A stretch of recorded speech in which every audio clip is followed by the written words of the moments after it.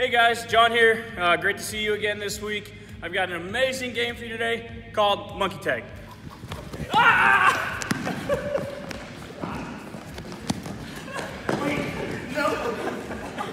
Now I'm gonna explain how to play this game. I've also got one of my buddies, my pals here named Nathan. He's gonna help kind of demonstrate how to play this game. So again, this game is called Monkey Tag. Real simple game. As you can see, I got a hockey stick right here in my hand. Um, the object of this game is you're gonna be a tagger and everybody else that is playing the game is trying to run away from you, just like in traditional tag. So if I go like this to Nathan and I tag him with the hockey stick, he then has to lay down flat on his back palms up in the air, feet up in the air, just like a monkey.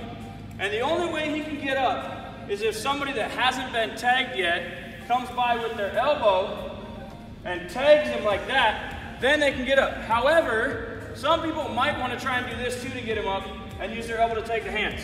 However, if they do that, they then too have to lay down flat on their back and have to become a monkey. So Nathan, thank you for laying down on your back and showing them how to play that. We are now gonna go ahead and play the game and let you guys see it live. Oh, oh,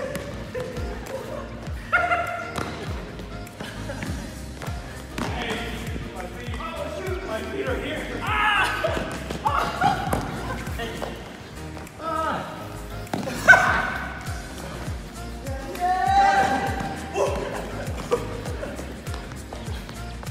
hope you enjoyed that game. Uh, super simple. If you do not have one of these hockey sticks, you can use something like a pool noodle, or maybe you've got something soft and a little bit long like this hockey stick.